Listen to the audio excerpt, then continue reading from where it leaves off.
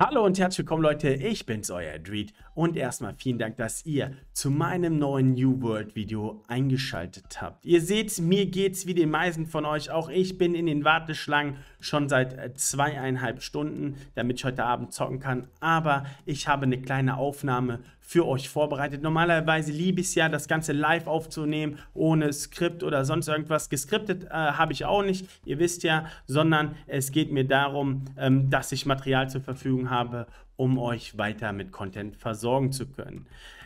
Der Dungeon Grind ist extrem krass. Ja, ihr seht es ja in der Thumbnail.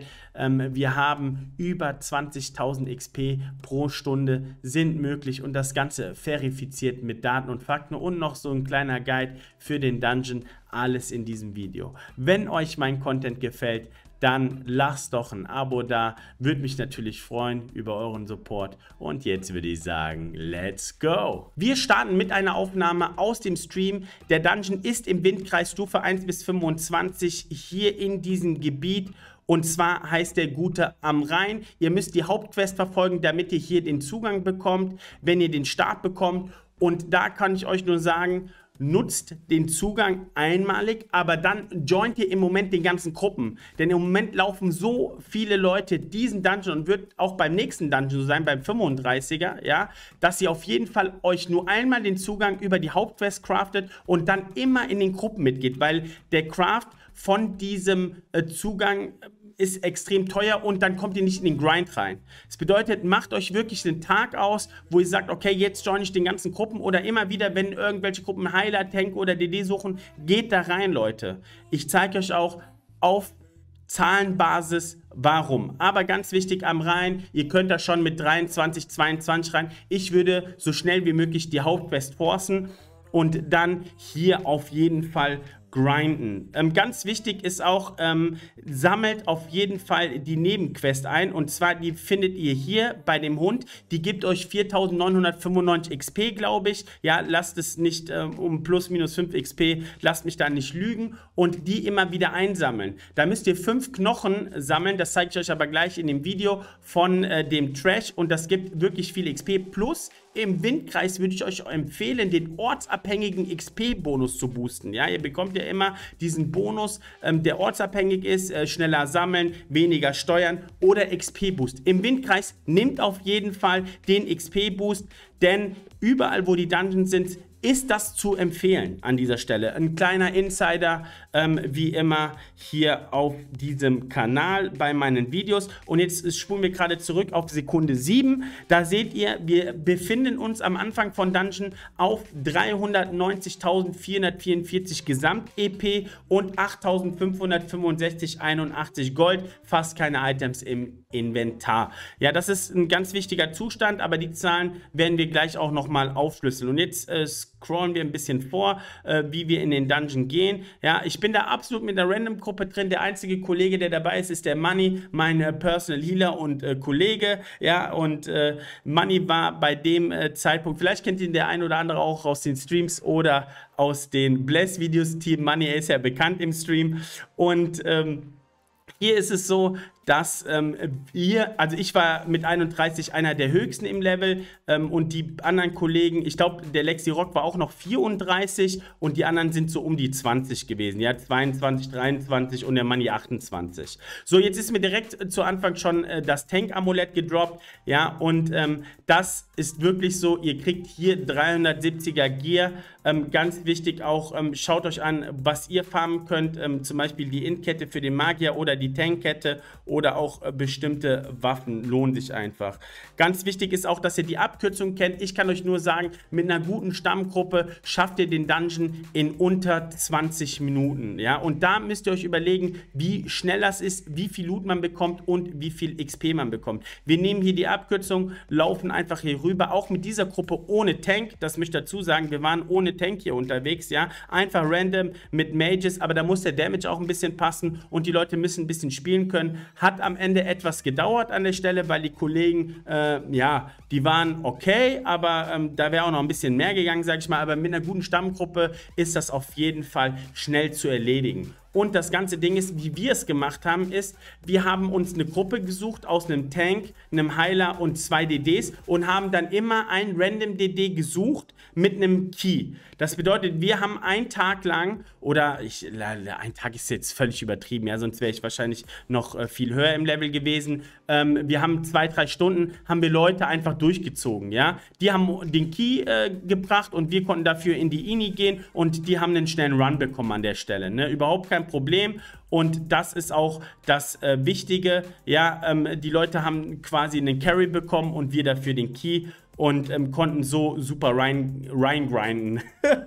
Sammelt euch einfach wirklich eine gute Gruppe zusammen und ladet immer ein DD ein, aber seid auch so fair und schreibt das in der Gruppensuche. Ja, suchen DD mit Key, damit äh, das klar ist und äh, das passt dann. Ja, aber im Moment wirklich nutzt das aus. Es sind gerade die ganzen Leute an der Schwelle oder wollen auch bestimmtes Gear hier farmen. Nutzt das einfach gerade aus und versucht Leute, die gerade die Hauptquest soweit haben, äh, mitzuziehen ähm, oder zusammen zu spielen. Außerdem lernt man auch noch eine Menge neuer Leute kennen. So, jetzt gehen wir hier durch. Ich spule wieder ein bisschen vor, ja, bis zum ersten Boss. Ganz wichtig ist hier auch die Stelle. Hier springe ich immer runter an der Seite und ähm, ernte quasi das Silber.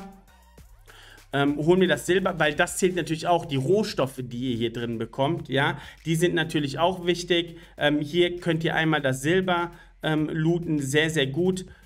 Und da hinten ist auch die Kresse und unter dem Wasserfall ist ja die Elite-Truhe. Mittlerweile ist das aber auch ähm, bekannt. Ich lasse das mal gerade laufen, dann sieht man das sehr gut. Ja, diese äh, Truhe hier an der Stelle meine ich.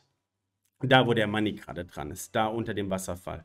So, dann läuft man wieder hier die Treppe hoch, ja, und dann geht es weiter. Hier, die sind wichtig, das ist der Knochen, ja. Ihr seht auch hier, habe ich das markiert. Ähm, das müsste folgende Quest sein. Genau Knochen für Schnarchimedes. Besiege Zerstörer der Sternausgrabung und erhalte die fünf Knochen. Hier.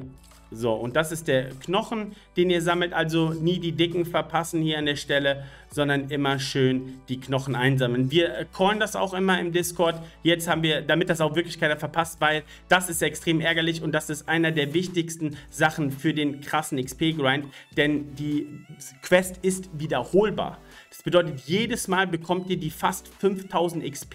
Je nachdem, wie euer Bonus ist, bekommt ihr auch über 5000 XP für diese Subquest. Hier ist auch noch ein Erz, das ihr äh, abfarmen könnt, äh, so wie ich das jetzt hier immer mache. Ich bin schon immer bereit, ja, zum Grinden. Äh, die Seelenzange auf jeden Fall auch mitnehmen an der Stelle und dann geht das weiter. In der Stammgruppe würde ich jetzt schon an den linken Stein gehen und würde hier schon anfangen, ähm, mein AOE zu setzen und dann äh, würde ich schon hingehen und würde hier ähm, das Ding hier aktivieren mit dem Stab, die Übersetzung, damit das Ganze noch schneller geht, aber hier muss ich ähm, als Haupt-DDler äh, muss ich doch hier äh, Damage setzen, damit das hier etwas vorangeht, ja. Ganz wild äh, war, war der Run, äh, das zeige ich euch gleich. Äh, warum? Ich spule jetzt hier wieder ein bisschen vor zu der Stelle. Ähm, hier ist es so, dass ihr quasi das Ding aufmachen müsst und dann seid ihr kurz vor dem ersten Boss. Hier bin ich runtergefallen. Äh, so, da haben die Kollegen auf mich gewartet. Und auch die ganzen Elite-Mobs, ne? Ihr grindet auch extrem viel Waffenlevel an der Stelle und ähm, extrem viel XP über die ähm, einzelnen Mobs. Und auch ganz wichtig ist, ihr müsst erst reparieren, wenn das Item wirklich komplett zerbrochen ist. Ja, wenn hier die rote Anzeige ist, da kriegt ihr noch kein Malus auf dem Gear. Hier ist mir auch noch das Tank-Schwert zwischendurch getroppt. Zwei 370er Items einfach so. Und ihr seht jetzt schon, wie voll mein Inventar ist in den ersten paar Metern. Hier die nächste Elite-Truhe beziehungsweise das nächste Vorratslager an der Stelle und äh, natürlich auch auch hier mitnehmen, ganz wichtig, weil hier droppen auch die ganzen Edelsteine, ja. Ähm, sehr, sehr viele epische Edelsteine habe ich hier schon mitnehmen können. So. Spulen wir noch ein bisschen vor. Hier müssen wir die drei Platten auslösen, ja, damit sich die Tür öffnet. Hier, den nehme ich mir immer. Ähm, oben rechts und links muss einer hin und dann äh, äh, kalte ich den immer schon mal rüber, weil die anderen dann den Geist rüber pullen und ähm, dann äh, versammeln wir uns hier an der Stelle, weil das einfach am effektivsten ist, wenn der Geist hier rüber gepult wird, weil wir müssen weiter geradeaus laufen. Also das lohnt sich auf jeden Fall, ähm, hier schnell quasi das Ganze zu machen, indem man den Geist hier rüber pullt um dann direkt hier weitermachen zu können. Hier wieder den Knochen einsammeln, ganz wichtig, das ist dann der zweite Knochen und dann hier der Geist, der kommt auf der anderen Seite, wenn man diese drei Platten erledigt hat und oben sich die Brücke bildet. So, dann macht man den Geist platt. Eigentlich kann man sich auch in der Mitte treffen, ähm, genau nicht darüber, was ich gesagt habe, sondern wir müssen uns ja in der Mitte treffen erstmal, um die Brücke hochzugehen und äh, nicht hier hinten, sondern ihr zieht beide eigentlich in die Mitte. Das wäre richtig, um dann oben über die Brücke zu gehen. Ja, ähm, dann habt ihr euch einen Weg gespart, wenn ihr die hier vor die Treppe zieht, nicht hinten hin war gerade selbst verwirrt bei dieser äh, Gruppe. So, und dann geht es weiter hier. Ähm, ihr macht einfach den Trash weg, das skippen wir jetzt, ja, sammelt den Knochen ein. Wichtig ist nur, der hier der Flügeltyp, der kann explodieren. Ja, dodge da weg an der Stelle. Das ist wichtig, weil sonst kriegt ihr zu viel Schaden und dann sammelt ihr hier wieder den Knochen ein und dann geht es weiter. Ähm, cleart den Raum vor dem Geist. Es reicht, wenn einer die Kerze einsammelt vorher und äh, macht hier alles platt und dann kommen wir auch schon zum ersten Boss zu dem Geist.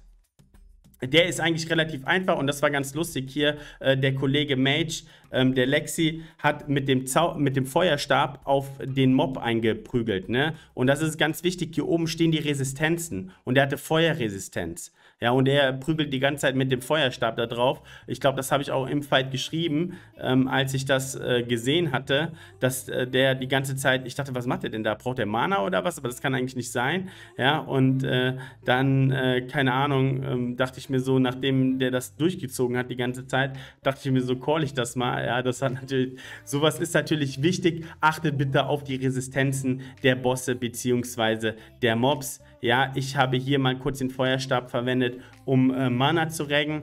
Und hier seht ihr, der Lexi, der ballert da weiter mit dem Feuerstab drauf und der Damage ist halt krass. Nee, ich habe sogar den Feuerstab gezogen, um den Stream das zu zeigen, wie der Unterschied, das, äh, wie der Unterschied ist, ähm, wenn ihr da mit dem Feuerstab drauf knallt. Nämlich echt extrem. Ich glaube, ich mache das gleich nochmal, ähm, um das zu demonstrieren. Und äh, ich glaube, ich äh, habe dem das nach dem Fight geschrieben. Ne? Hier müsst ihr raus aus dieser, aus dieser Zone. Das ist das Einzige, was der kann. Ja, und er macht irgendwann nochmal so einen Ruf. Hier, guck, der hat Feuerresi, schreibe ich da unten rein. Ja, ähm, weil er als die ganze Zeit da äh, drauf gecastet hat mit seinem Feuerstab. Ne? Sowas passiert dann halt bei den Random-Gruppen, aber es war schon spät und äh, das ist natürlich jedem Spieler dann an dieser Stelle zu verzeihen, wenn man vorher drei Stunden in der Warteschlange verbracht hat. So, jetzt haben wir den Down, gibt wieder extrem viel Loot. Ihr holt hinten noch die Elite-Kiste. Ja, ähm, könnt ihr vorher machen, könnt ihr nachher machen. Und hier ist mir ähm, der Stab gedroppt, den ich sowieso auch spiele ja, und noch ein bisschen was anderes. Und das ganz Wichtige ist, hier gibt es auch eine Menge Equip, das erst beim Ausrüsten, also Bind on Equip, ähm, quasi ähm, gebunden ist. Und dann könnt ihr den Stuff im AHA verkaufen. Und das mache ich wirklich zu günstigen Preisen, manchmal 10, 15, 20, 40 bis 100 Gold, mehr aber nicht, weil gerade wird sowieso das AHA überschwemmt und sucht euch dann auf jeden Fall ein AHA aus, wo ähm, wenig von diesem Stuff ist, beziehungsweise könnt ihr auch schon im Anfangsgebieten ähm, reinstellen, dort, wo ihr meint, ähm, wo ihr es am besten verkauft bekommt. Aber übertreibt nicht mit den Preisen, weil es werden sowieso viele Spieler das Zeug reinstellen. Meistens aber zu teuer. Ich stelle das immer sehr günstig rein, weil äh, 10 Gold ist besser als zerlegen, sage ich jetzt mal. Und Kleinvieh macht auch Mist. Und wenn ihr mal so einen Abend gerannt seid, dann macht das schon so um die äh, äh, 1000 Gold aus. Ja. Neben den, äh, neben den ganzen äh, Mobs, und das habe ich eben vergessen zu zeigen, ist auch die Bosse geben um die 1000 XP, was natürlich auch nicht zu vernachlässigen ist. Ja? Das ist natürlich extrem viel und daher summiert sich das Ganze. Ihr macht also, wie gesagt, eine Menge Gold, ihr kriegt Ressourcen, ihr levelt eure Waffen extrem gut, weil das sind alles Elite-Mobs, ja, und ihr ähm, kriegt, wie gesagt, auch noch ähm, eine Menge XP für die Zeit. Das werden wir aber gleich nochmal genau definieren. So, jetzt spule ich wieder hier ein bisschen vor, dann kommen wir zum Endboss, hier ohne Tank. Da habe ich gefragt, ob wir jetzt Kiten oder Full DPS machen und dann geht's los. Ne? Die fünf Knochen haben wir eingesammelt bei den Dicken, niemals vergessen und dann nuken wir den Kollegen einfach down. Ähm, der hat wieder Feuerresistenz. Ähm, äh, Lexi ähm, zieht sein Ding an dem Abend durch, aber ist ja egal, passiert an, passiert an der Stelle. Ähm, und dann ja, einfach drauf nuken. Ähm, man kann so vorgehen bei dem Boss, entweder kitet man die Ads, ja, das heißt, ähm, ich mache das manchmal oder habe das am Anfang gemacht, wo der Damage noch nicht ganz so hoch war, bin einfach hingegangen, habe mir die drei Ads geschnappt und habe dann quasi gekitet, weil ich konnte die äh, Ads nehmen, plus ich konnte dann Damage auf den Boss machen. Aber mittlerweile ist der Damage so hoch, dass sie eigentlich in dem AOE von den einzelnen Mitspielern instant fallen. Ja, ich spare mir auch meine AOE-Attacken auf für diesen Zeitpunkt und äh, ganz wichtig ist auch zwischendurch mal vielleicht eine Mana-Trank kicken als Magier, ähm, damit ihr immer voll Mana seid. Jetzt seht ihr, hier habe ich meine AOE-Attacke aufgespart. Jetzt lege ich hier noch die Eisbarriere hin. Falls einer durchläuft, ist er gefreezed. Dann mache ich sowieso mehr Damage an dem. Äh, Kritte auch öfter, ähm, kriege dadurch wieder Mana-Rack und so weiter und so fort. Und äh, dann wird der Kollege weiter downgenugt. So, Jetzt spulen wir wieder ein bisschen vor, ähm, weil das ist das Einzige, was der Kampf kann an der Stelle, äh, bis wir den besiegt haben. Auch hier mit der Gruppe um die 25 Minuten gebraucht, also wirklich schnell. So, und jetzt sehen wir hier, wir sind jetzt schon bei 8755 Gold. Das sind ungefähr 200 Gold mehr.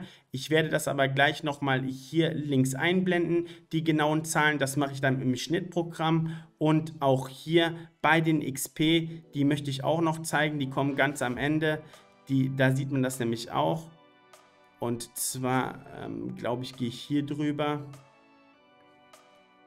Oder mache ich das Ganze am Ende? Mache ich das draußen? Genau, wo ich die Quest abgegeben habe. Ja, dann gebt ihr einfach hier die Quest ab. So, zack. Ihr seht es hier 4000. Hier sieht man es auch. Die Quest gibt in der Base 4920 EP, habe ich ja gesagt, um die 4900. Ich habe aber 5200 bekommen. Ne? Das liegt an dem Bonus, den ich über den äh, Ruf bekomme. Ihr nehmt die sofort wieder an, diese Quest. Und jetzt fahre ich hier über die XP drüber. Und jetzt seht ihr, wir sind bei 900, äh, 397.610 EP. Das bedeutet, der Run gibt mir neben den Items, hier, die ihr alle bekommt, neben den Edelsteinen, neben den äh, Erzen und Ressourcen gibt er mir ungefähr 200 Gold, 7000 XP und ähm, zusätzlicher Waffenlevel-Grind.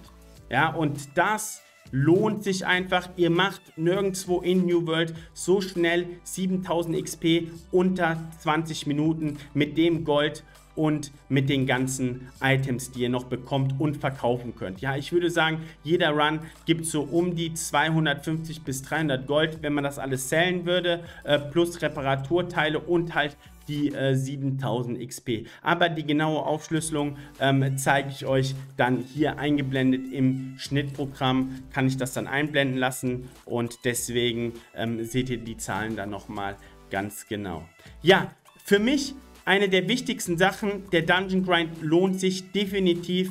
Versucht's mal, grindet mal eine Stunde, sucht euch vier Leute zusammen, mit denen ihr das durchziehen wollt aus eurer Kompanie oder mit random Leuten. Ansonsten joint ihr immer Gruppen, wenn ihr seht, ihr habt die Möglichkeit, for free da reinzukommen. Denn wenn ihr anfangt, den Schlüssel zu grinden, das dauert wirklich eine Weile. Ihr braucht nämlich Verderbnissplitter, ihr braucht ähm, Partikel und ihr braucht den Meisel ähm, von eurer, ähm, von eurer Fraktion. Der kostet natürlich auch wieder und deswegen würde ich sagen, versucht wirklich jetzt in diesem Moment, wo viele die Dungeons gehen, den 25er, danach wieder den 35er, den voll rein zu grinden, Leute. Es wird sich lohnen. Ihr werdet sehen und ihr werdet so easy farm in einer Stunde ein Level locker schaffbar.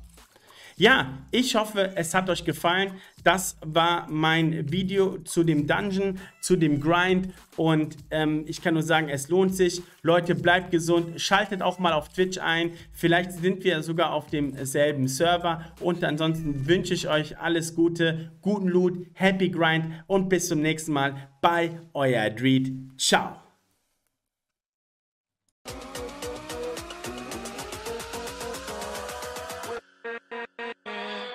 with We'll be right back.